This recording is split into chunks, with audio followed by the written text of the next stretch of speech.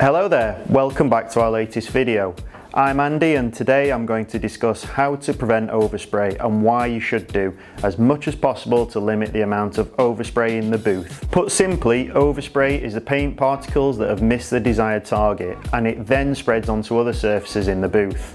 The main reason for wanting to limit overspray as much as possible is the fact that in effect overspray is money on the floor. If you manage to cut back on overspray then you will be surprised at the paint usage that you cut back on and in turn the cost benefits that you will experience. Not only does overspray cost the company a lot of money but it can lead to a low quality finish. This is because when there is a lot of dried overspray in the painting area, it can become loose and airborne. Then, once in the air, it will come into contact with the wet paint and cause the finish to become contaminated. And issues can occur like solvent popping or dust contamination. This will then cost the company more money and time and rework. To completely stop overspray and have all of the paint leave the gun and stick to the desired surface is impossible.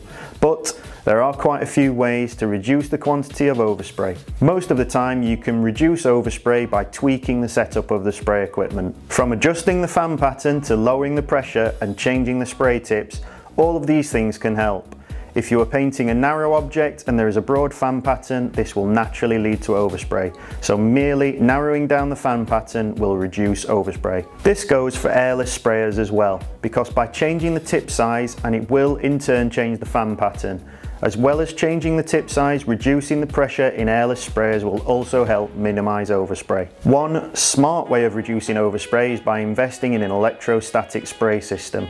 This is when the paint is electrically charged and then attracted to the substrate, meaning the majority, up to 95% of the coating ends up on the substrate.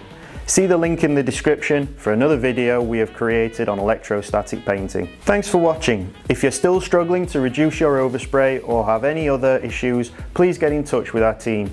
You can also subscribe to our channel where we are uploading videos weekly to help you in your paint shop.